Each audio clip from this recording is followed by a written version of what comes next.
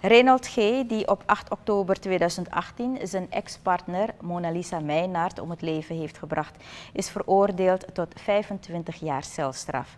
Officier van Justitie Bibian Chinlipshi had 30 jaar geëist. Reynold G. bekende dat hij met Meijnaert op een afgelegen plek had afgesproken.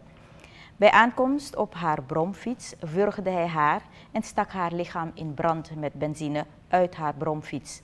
De man had eerder spijt betuigd aan zijn familie en de familie van Meijnaert en hun zoon. Hij vroeg om vergiffenis en zei dat hij het niet zo had bedoeld. De verdachte zei dat hij in trauma leeft en geen idee had hoe hij was overgegaan tot die daad.